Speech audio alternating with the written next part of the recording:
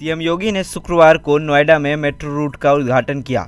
Aqua metro line को हरी झंडी दिखाते हुए सीएम ने वन सिटी कार्ड भी शुरू किया। वहीं आम लोग इस लाइन का उपयोग 26 जनवरी से कर सकेंगे। वहीं इस मेट्रो लाइन के शुरू होने के कारण अब नोएडा और ग्रेटर नोएडा के बीच की दूरी कम हो जाएगी और लोग कम समय में आ जा सकेंगे। सीएम योगी उद्घाटन के बाद greater Noida depot metro station के लिए रवाना हो गए, जहाँ से वे अन्य कार्यक्रमों में भाग लेंगे और नोएडा प्राधिकरण के दूसरे कार्यक्रमों का भी शुभारंभ करेंगे।